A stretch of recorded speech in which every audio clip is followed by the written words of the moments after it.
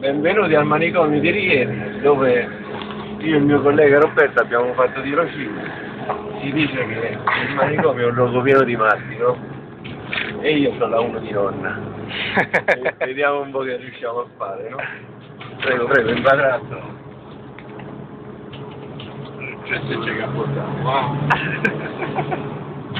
Vedete, qua ci sono le rotonde, potete vedere come la uno.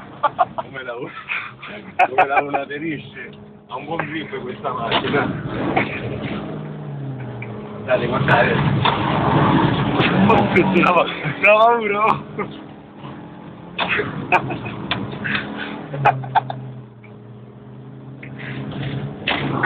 Oh, guarda tu.